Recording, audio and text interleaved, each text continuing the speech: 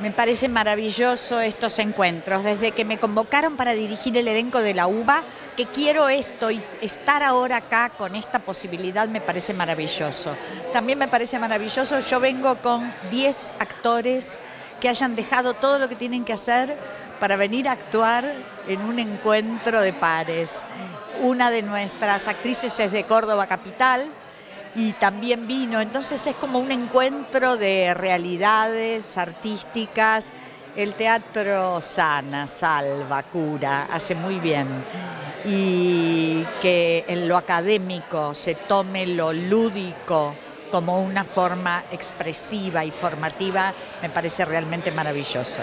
El Encuentro Regional de Teatro tiene charlas, tiene talleres, tiene jornadas de capacitación, pero también tiene funciones teatrales, ¿no es cierto? Ustedes mañana, sábado 12 de octubre, van a estar presentando Cara a Cara. Contanos brevemente de qué se trata.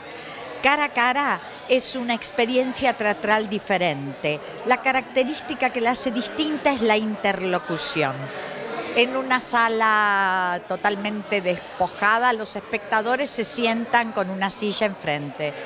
Por supuesto, el actor va a ir ocupando esa silla, los actores, e inmediatamente eh, la, eh, la, actuación deviene, coloca al actor en el lugar de paciente y a los espectadores en el lugar de analistas. Así que para nosotros es realmente una satisfacción hacer un pequeño acting de lo que se hace en la Facultad de Psicología, que es atender pacientes. Y esta cosa de encontrarse cara a cara o frente a frente le da a la ficción una intimidad que no suele suceder.